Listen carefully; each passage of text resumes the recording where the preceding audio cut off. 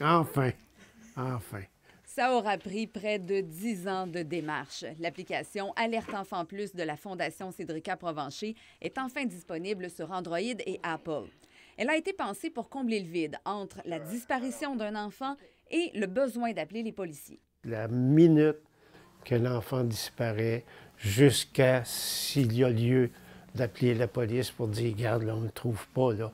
Autrement, ça serait abominable s'il fallait que les policiers reçoivent une information à chaque fois qu'un enfant s'est caché dans un garde-robe, il est resté chez un ami ou des choses de même. Une fois téléchargé et votre compte créé, vous pouvez ajouter le profil de vos enfants avec nom, date de naissance, description physique et photo.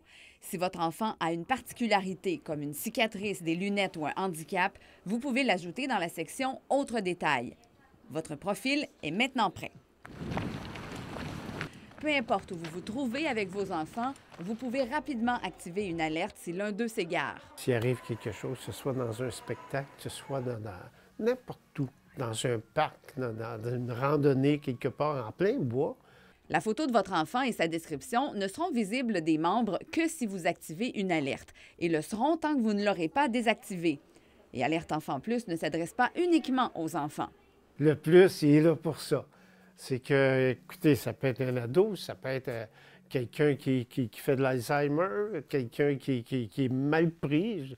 Le succès de l'application repose sur son nombre d'utilisateurs. Plus elle sera téléchargée, qu'on ait des enfants ou non, plus elle sera efficace, puisque seuls ceux qui l'ont téléchargée vont recevoir les alertes.